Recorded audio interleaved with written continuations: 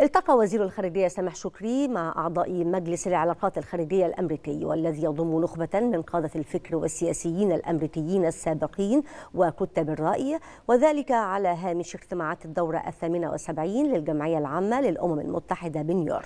شهد اللقاء حوارا مفتوحا بين الوزير شكري وأعضاء المجلس. تناول العلاقات الثنائية بين البلدين كما قدم وزير الخارجية شرحا لعملية التحول والتطوير الشامل التي تشهدها مصر بما في ذلك مسار الحوار الوطني وأهدافه. وناقش اللقاء القضية الفلسطينية وسد النهضة والأوضاع في السودان بالإضافة إلى الأزمة الأوكرانية.